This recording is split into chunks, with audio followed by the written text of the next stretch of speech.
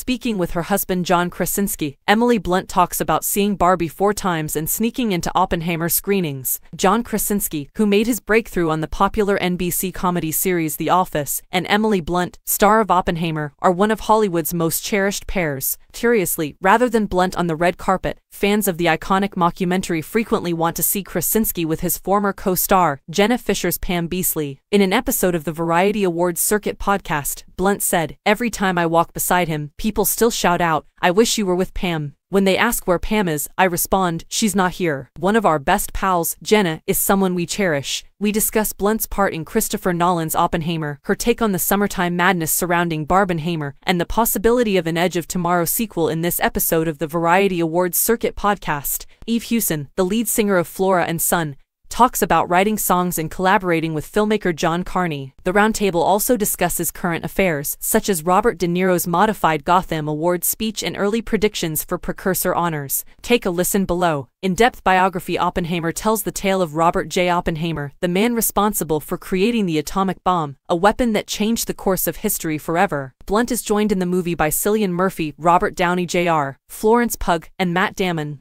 The film, which sparked the hashtag Barbenheimer movement by luring viewers to see Greta Gerwig's meta-comedy Barbie, has made over $1 billion in global box office receipts since its summer premiere. Blunt gushed about the craze, saying, I absolutely loved it.